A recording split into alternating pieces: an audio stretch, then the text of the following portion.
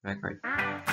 Ang kabiasnan ay nakatutulong sa pagkakakilanlan ng isang nasyon. Marahil ay maraming tanong sa ating isipan tungkol dito at sa mga pangyayaring nagbigay daan sa pagsibol ng kabiasnan sa Asya. Saan nagmula ang mga unang tao sa Asya? Paano sila namumuhay?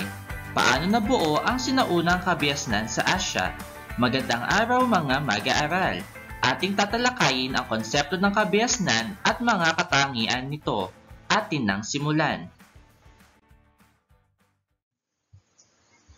Ayon sa mga arkeologo, ang mga nahukay na fossils at artifacts sa iba't ibang bahagi ng mundo ang siyang ginamit na pangunahing ebidensya sa pag-aaral sa ebolusyon ng tao. Ang fossils ay ang anumang tumigas na labi ng mga halaman hayop at tao samantalang ang artifacts ay anumang mga kasangkapang ginagamit ng mga tao.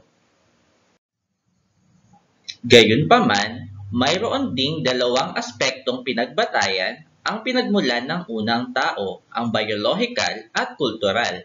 Ayon sa ebolusyong biological, ang pagbabago sa pisikal ng tao tulad ng paglaki ng bungo at maging ang paglalakad at posisyon ng katawan ay ang siyang pangunahing ginamit na batayan sa pag-unlad. Batay naman sa ebolusyong kultural, ang mga kasangkapang ginamit ng mga sinaunang tao ay ang pinagbatayan sa pag-unlad ng pamumuhay ng tao. Ang kwento ng pinagmulan ng tao ay nagsimula sa teorya ng ebolusyon ng tao ng isang French naturalist na si Jean-Baptiste Lamarck noong 1809 subalit kulang ang kanyang mga makaagham na pagpapaliwanag hanggang sa nagpalabas ng isa pang teorya sina Charles Darwin at A.R. Wallace noong 1858. Pinag-ibayo ni Darwin ang pagpapaliwanag sa kanyang aklat no Origin of Species noong 1859. Ayon sa teoryang ito, tila isang hagdanan o ladder ang pinagdaan ng ebolusyon ng tao kung saan ang nagsilbing pundasyon ay ang ninunong malabakulaw o ape-like ancestors at ang mga modernong tao o Homo sapiens ang nasa pinakatuktok. Tinawag ng hominid ang mga kabilang sa pamilyang Hominidae ng bipedal primate mammal na kinabibilangan ng pinakamodernong tao. Ang silangang bahagi ng Africa ay pinaninirahan ng iba't ibang uri ng mga hominid. Ang mga ito ay hinati ng mga dalubhasa sa tatlong pangkat, ang Ardipithecus ramidus, Australopithecine at Homo. Ang Ardipithecus ramidus ay hango sa wika ng Afar Ethiopia na RD na nangangahulugang ground floor at ramid na ang ibig sabihin ay root. Tinatayang sila ay may taglay na katangian ng chimpanzee dahil sa kanilang ngipin at tao dahil sa pagiging bipedal. Ang Australopithecine ay hango sa wikang Latin na nangangahulugang Southern Ape. Ito ay nagtataglay ng magkaparehong katangiang tao at bakulaw. Sila ang sinasabing mga ninuno ng makabagong tao. Gayunpaman, ang Homo naman ay nagmula sa salitang Latin na nangangahulugang tao. Sila ay may mas malalaking utak at may kakayahang makalikha ng mga kagamitan. Ang Homo ay nahati sa tatlong species, ang Homo habilis o handyman, Homo erectus o upright man, at Homo sapiens o wise man.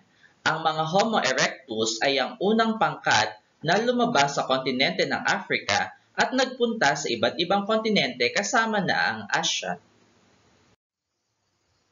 Dumako naman tayo sa yugto ng pag-unlad ng pamumuhay ng mga unang Asyano. Ang panahon ng bato ay ang panahon ng paglilinang ng tao na hati sa dalawa, ang Paleolitiko o lumang bato at ang Neolitiko o bagong bato. Noong panahong Paleolitiko, ang mga tao ay nomadiko o walang permanenteng tirahan, nangangaso at namumulot ng pagkain, gumagamit na ng kamay di kagaya ng hayop at nakapagsasalita at nakatatanggap ng anumang impormasyon. Bilang karagdagan, sa panahon din ng Paleolitiko ay mas malaki ang utak ng tao bunga ng pagiging mas maralino kaysa sa mga hayop. nakakalakad na ng maayos at may pisikal na katangian.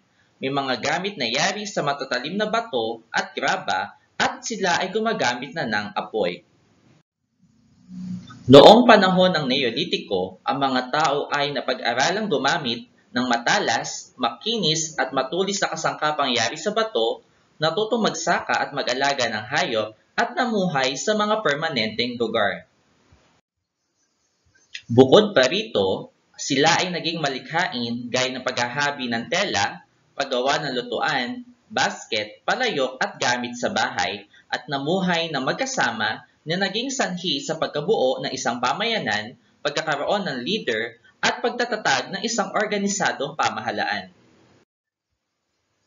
Sa panahon naman ng metal, ang mga tao ay gumamit ng mga bagay na yari sa metal tulad ng tanso o copper, gumawa ng mga mamahaling bagay gaya ng alahas at kagamitang pandigma, at nakaimbento ng bronze o pinaghalong metal na tanso at metal na tin.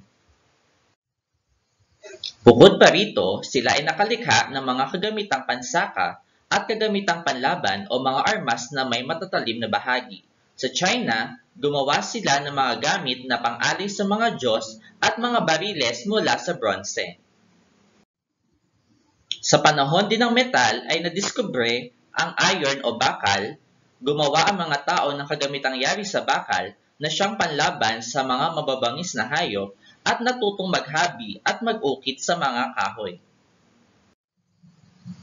Bilang panghuli, sa panahon din ng metal, ang mga tao ay natutong mga lakal gamit ang sistemang barter at barya at gumawa ng mga sasakyang pandagat para sa kanilang kalakalan.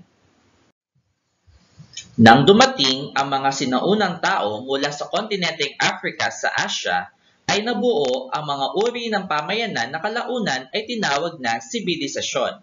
Ang salitang ito ay nanggaling sa salitang Latin na civitas na ang ibig sabihin ay syudad at sibilis na nangangahulugan namang ng mga mamamayan. Kung gayon, ang sibilisasyon ay ang masalimuot na pamumuhay sa lungsod. Sa kabilang banda, ang kabiasnan naman ay isang terminolohiya ng mga Pilipino sa higit na mataas na antas ng pamumuhay. Batay ito sa salitang ugat na bihasa na ang kahulugan ay eksperto o magaling. Kung gayon, ang kabiasnan ay pamumuhay na nakagawian at pinipino ng maraming pangkat ng tao. Sakop nito ang mga pamumuhay batay sa lungsod at maging hindi batay sa lungsod.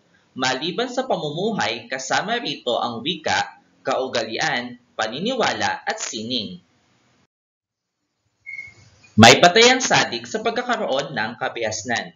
Ito ay ang pagkakaroon ng organisado at sentralisadong pamahalaan, masalimuot na relihiyon, espesyalisasyon sa gawaing pang-ekonomiya at uring panlipunan, mataas na antas ng kaalaman sa teknolohiya, sining at arkitektura at sistema ng pagsusulat. Ang mga unang panirahan sa daigdig at maging sa Asya ay nagsimula sa mga matataas na lambak na nasa tabi ng pinagmumula ng mga anyong tubig gaya ng ilog, kaya tinawag ito na lambak-ilog. Ilan sa mga unang lungsod-estado na nabuo sa Sumer o Mesopotamia na Iraq sa kasalukuyan ay ang Uruk, Katalhuyuk, Jericho, Ur, Lagash at Uma. Diyan nagtatapos ang ating pagtalakay ukol sa konsepto ng kabiasnan at mga katangian nito. Muli, ako si Ginoong Kevin C. Barrera, ang inyong guro sa Araling Asyano. Maraming salamat.